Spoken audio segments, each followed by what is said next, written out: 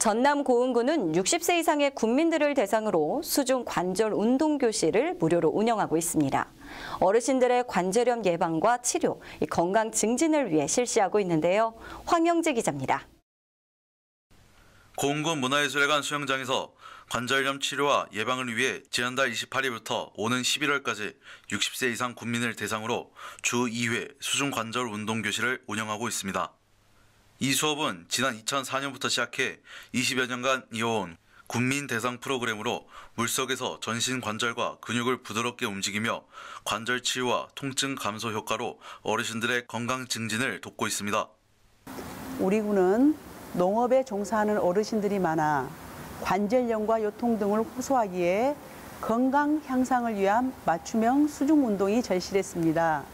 그래서 아쿠아 관절 운동 교실을 무료로 운영하고 있습니다. 수중 운동은 부력을 이용한 운동 방식으로 체중의 부담이 없고 부상 후 위험이 적어 누구나 즐겁게 참여할 수 있습니다. 운동 프로그램을 통한 만성 질환 예방과 치매 예방 등 어르신들의 건강 증진에 많은 도움이 될 것으로 기대합니다. 군 보건소는 올해 운동교실 대상 인원을 기수당 40명씩 총 120명으로 확정했고 3기에 걸쳐 참여자들의 체력 향상과 건강 관리를 위한 프로그램을 무료로 운영합니다. 보험군에서 무료로 이용하게 해주셔서 감사하고 무릎이 덜 아파 아주 살 것 같아요.